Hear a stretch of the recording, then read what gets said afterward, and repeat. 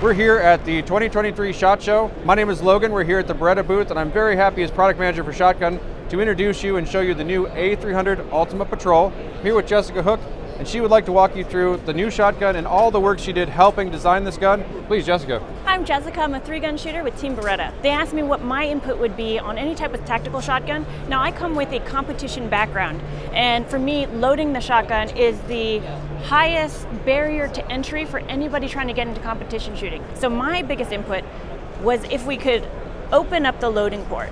And so you'll see with this, they've completely redesigned the loading port. It's got a really nice smooth ramp and the opening really exposes the tube here so you can really load easy. I was able to quad load it without any modifications and that's exactly what I wanted. I want you to be able to take this off the shelf and be able to run it hard and I'm going to prove that it can be done in competition.